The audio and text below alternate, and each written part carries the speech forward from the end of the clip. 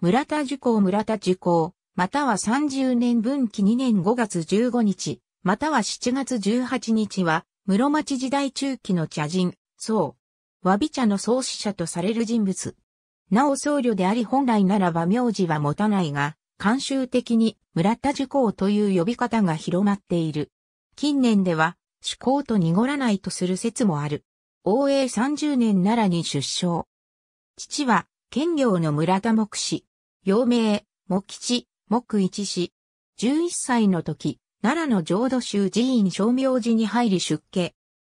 宗名である、受講の名は、浄土三部教の一つ、漢無量、受刑の極、一一の玉、一一の光から取られた。20歳以前に、正明寺を出る。その後の経歴は不明。応仁の乱の頃には、奈良に帰るが、正明寺には戻らずに、東大寺の近くの北川丹町で、家を営む。当時の北川丹町は、民家もない田園だった。以前は減俗したとの説があり、正明寺ですら、そのように HP に記載しているが、山科カレー記の文明18年8月24日の記事に受講坊との呼び名で登場することから、減俗はしなかったとされている。そうであった受講には、子がなく、幸福寺尊教員の下部だった宗主を養子にした。晩年に京都三条流水町に移り、文期2年5月15日、80歳で死去。茶道史研究者の高津浅尾は、足利義政将軍など貴人との関わりでの事項の茶道創始説を否定した。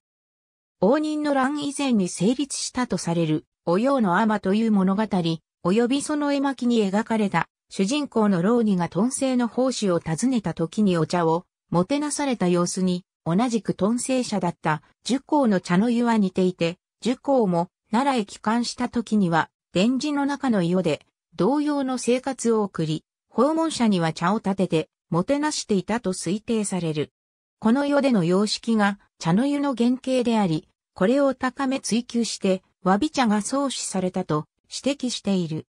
物語の奉仕は一人住まいなので自らお茶を立て、蓋の割れた陶製の風呂釜、次のある茶碗、竹の茶器、竹火尺を使い、これらの茶道具は部屋から見える場所に置かれていた。このように客の前で使われる風呂釜などの和え物茶道具との調和のためには、受講茶碗などのヘタの動物を使う必要があり、そのために動物名物を多く持つことはせず、和漢この境を紛らわすことが重要だと考えたのではないかと指摘している。受講が好んだという伝来を持つ道具は多く、総称して受講名物と呼ばれ、主なものは以下の通り。三条州二期や南方録には、樹光が動物の茶道具を多く所持していたと記載されている。これらの道具を所持したという事実が、樹光が原属死商人になったという論の大きな根拠であった。これで村田樹光の名が流布した。しかし近年発見された天文年間の名物記、清志岩名物記では、掲載されている樹光急増の道具は、樹光茶碗4碗のみであった。天正16年の三条州2期に下ると多くの受講急増の道具が掲載され、この間に伝来品の記載の捏造が行われた可能性がある。また、上記の山科カレー記の発見による受講が一生涯僧侶であったという説の信憑性を高める結果ともなった。受講伝来とされる名物、受講茶碗とは、還元小生で青くなるべき政治が、技術的な不備で参加小生となり、赤活色になった中国民謡製雑記である。その4つの受講茶碗のうちの1つを千里宮が購入し、若かった頃の茶会で使用している。義書とされる南方録には、臨済宗大徳寺派の一級総順に参禅し、インカの証として一級から援護国金の牧石を授けられたと書いてある。しかし、援護国金の牧石は、樹光の跡取りである宗主が所有していたとの記録が、清志岩名物記にあるのみで、一級や樹光が所持していたとの記録はない。一級会期の真珠庵の過去帳の分期2年5月15日上に、樹光庵主の名が見え、一級13回期に漢文を出している。その真珠庵の北条東帝753の庭は、受講作と伝わる。また、一休が応仁の乱から逃れるために、京都東山から周恩庵に移築した住居である虎久庵の庭園も受講作と伝わる。三条州二期中の受講一種目録にある記述より、能阿弥の紹介によって、室町幕府八代将軍、足利義政に茶道指南として仕えたとされたが、これは、同書中の能阿弥に関する記述がその生没年と合わないことから、現在の茶道史研究では、基本的に否定されている。樹光が茶の湯の弟子である古市住種に当てて書いたとされる古市播磨帽子当て一詩は樹光の茶の湯に対する考えが記されていることで有名である。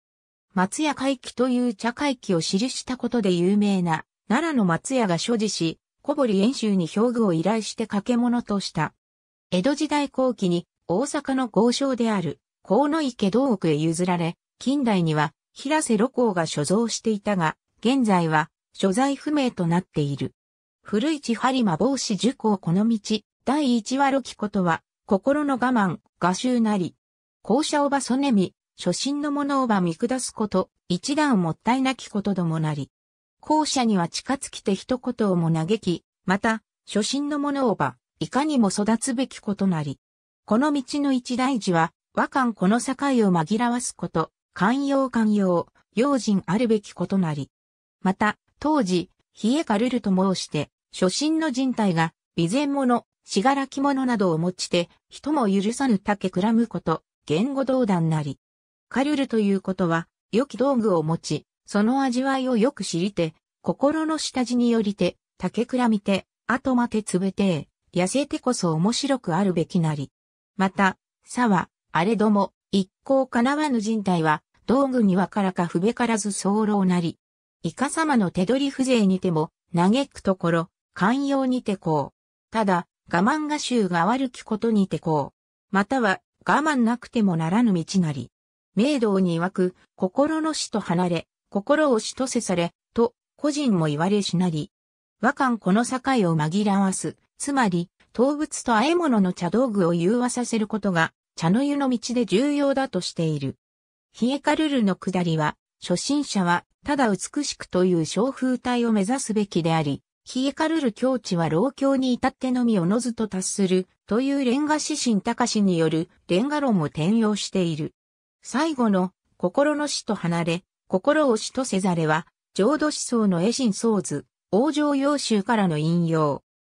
樹光の弟子として、三条集二期に記されているのは、奈良の豪族の古市住種、同じく、奈良の幸福寺、西福院樹、山梨に仕えた後奈良に陰性した松本玉法、京都の裕福な商人だった、新の宗信と、石黒堂久下げ、同じく、京都の阿比好きであった粟田口前方、及び、堺に住みたびたび、奈良を訪れていた商人だったと考えられる、鳥居院説。ありがとうございます。